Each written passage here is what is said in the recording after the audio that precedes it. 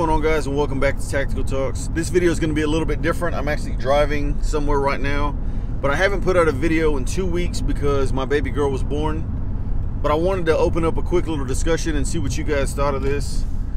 Um, I don't ever really watch the news and I definitely don't get into politics and all that stuff, but I was watching the news the other day at my in-laws house and I saw, I can't remember the man's name, but he is the father of a young lady who was killed in the Parkland uh, mass shootings there in Florida. And I was listening to this man talk, and I, I hope that I never have to go through what he went through. I mean, it's just crazy, crazy deal. But the fact that he's using his voice to to bring awareness to the situation and try to see what he can do to fix the situation. He's not one of these people and I'm not going to name any names or point any fingers, but he's not one of these people who is just saying ban the guns, ban the guns, expecting or hoping that that's going to fix the issue. This man is talking about, you know, real life things. What can we do to fix the issue? And one of the things that I thought was was kind of cool was he was talking about after this whole deal and after this tragedy and the loss of his daughter that he is now pro gun you know, he talked about before that he never really had guns. He never, you know, he could really care less about them. And now he's pro gun. He was saying if somebody had a gun, you know, who wasn't, who didn't have bad intentions, maybe could have done something and stopped that person sooner. Now, there's so many different things that that go into that whole situation that I'm not going to talk about or try to break down or analyze, nothing like that. But the fact that this man is saying that he's pro gun, I mean, it, it just kind of I don't want to say it made me feel good, but it, it kind of opened my eyes to the fact that not everybody out there is just against, you know, banning guns. And the other thing that he talked about was like background checks. That's the biggest thing that the media keeps talking about, at least from what I'm hearing. And we need tighter background checks. We need stronger background checks. We need better background checks. We need longer wait periods for people to get guns. And the reality of the situation is if a bad guy wants a gun, bad guy's going to get the gun. We recover stolen guns all day, every day. Guns get stolen from good people, you know, who accidentally left them in their vehicle. Somebody's house got broken into, cars got broken into. There's so many different things that happen that put guns in, in the bad guy's hand that it doesn't matter how hard or how strong you, you work on these background checks, guns are always going to be there, you know. But one thing that he did talk about was prosecuting. We need to make sure that these issues that come up with individuals that are deemed, you know, red flags, somebody having violent tendencies or committing crimes that are not being prosecuted. And he was talking about, you know, in those situations and in the Parkland shooting and others, doing a, a background check or even a, a stronger background check wouldn't have changed the outcome of what happened. What he was saying though is had the individual you know, the, the person who went out and, and committed this crime been prosecuted for the things that he had done before, you know, those things would have come up on a background check. And at that time, when the background check was conducted, then there would have been some red flags. Then he wouldn't have been able to obtain the gun legally. Now, like I said, I don't think that that's going to fix every issue.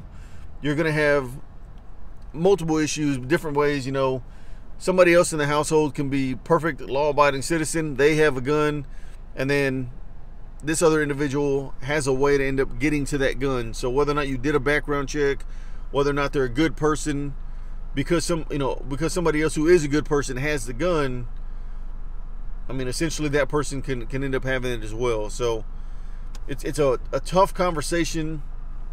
It's a, a crazy tough topic and I really don't speak on things like this too much, but like I said, after I was watching this man who lost a child talk about what can we do to fix the issue, you know, and he said probably one of the smartest things that I've heard, at least in this whole gun debate, um, you know, Second Amendment debate. He said it himself. He's now pro-gun. You know, it's not the guns that are the problem, and so many people harp on that. So many people say that, and you know, you hear those sayings all the time that guns don't kill people, people kill people. Now, people may use guns to kill people, but the gun itself didn't commit the crime, you know. And it, it's become such a cliche of like, oh, guns don't kill people, guns don't kill. It, it's just become a joke. The reality is, we need to focus on people. What can we do? One to help people because at, at the end of the day, that really is the main goal: is to help people. You know, in doing what I do, whether you're a good guy or bad guy, the goal is to help people. If we can help somebody to not be a bad guy or to not do bad things, that's the goal to ensure that nobody gets hurt. But I think the, the real story here is is prosecuting. And I'm not pointing fingers at anybody. I'm not saying there's a lack of anything. I'll let you guys make up your mind as far as that goes. But the reality is there is so much truth in what this man was saying that had these people been prosecuted before and given them given the attention I don't want to say that they deserve, but giving them the attention that they're seeking in a different manner before it got to, you know, the extreme that it's gotten to. I don't want to say these things could have been prevented, but at least it would have made us a little more aware. You know, at least it's something that maybe we can attempt to fix or or figure out beforehand. So let me know what you guys think of that. This is a little bit different video. I know that. I don't have any cool guns in this video. I don't have any cool gadgets in this video. I'm literally on my way to do something. I just got here. There's just so much going on in my life right now, but I want to keep the the discussion open. I want to keep this relevant enough to where we as a community, whether it's a YouTube community, a gun community, just a, a, a people community, come together and try to help find a solution for what can we do to help? Stop pointing the finger and saying guns are wrong, guns are bad.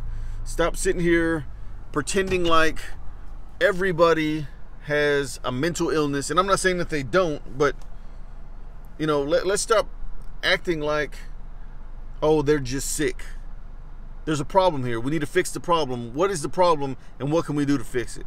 So let me know what you guys think of this video. Thank you guys for watching this and we'll see you next time.